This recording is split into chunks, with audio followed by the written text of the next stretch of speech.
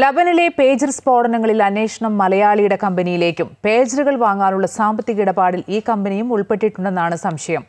Norwegian പൗരത്വമുള്ള Malayali Rinson ജോസിന്റെ കമ്പനിയാണ് സംശയത്തിന്റെ നിഴലിൽ ഉള്ളത്. നോർവീജിയൻ പൗരത്വമുള്ള വയനാട് സ്വദേശിയായ റിൻസൺ ജോസിന്റെ നോൾട്ട ഗ്ലോബൽ നോർട്ട ലിങ്ക് എന്നീ കമ്പനികൾ വഴി പേജറുകൾക്ക് പണം കൈമാറിയെന്നാണ് അന്വേഷണ ഏജൻസികൾക്ക് വിവരം ലഭിച്ചത്. റിൻസനെക്കുറിച്ചുള്ള വിവരങ്ങൾ യൂറോപ്യൻ അന്വേഷണ ഏജൻസികൾ ഇന്ത്യക്കും കൈമാറി.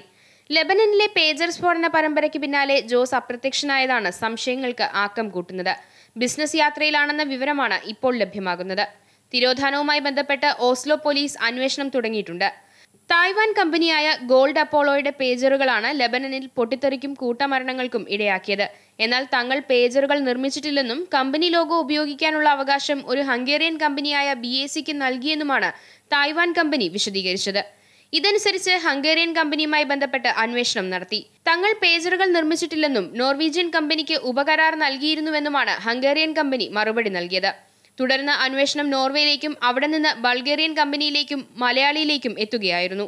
റിൻസന്റെ ഉടമസ്ഥതയിലുള്ള ഷെൽ കമ്പനി ഇടനിലക്കാരനായ ക്രിസ്ത്യാന ആർസിഡിയാക്കോണോ എന്നയാൾക്ക് ഒന്ന് ദശാംശം മൂന്ന് മില്യൺ പൗണ്ട് നൽകിയാണ് പേജർ വാങ്ങാനുള്ള ഇടപാട് ഉറപ്പിച്ചത്. മൊസാദിനു വേണ്ടിയാണ് ഈ ഇടപാട് നടത്തിയതെന്നാണ് സംശയം.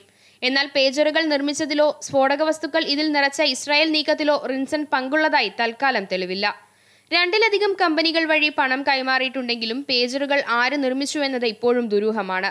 ചൊവ്വാഴ്ച ലെബനന്റെ തലസ്ഥാനമായ ബെയ്റൂത്തിലടക്കം പേജറുകൾ പൊട്ടിത്തെറിച്ച് പന്ത്രണ്ട് പേർ കൊല്ലപ്പെടുകയും മൂവായിരത്തോളം പേർക്ക് പരിക്കേൽക്കുകയും ചെയ്തിരുന്നു.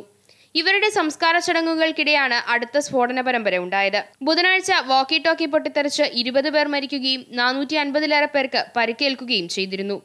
International desk Amrita T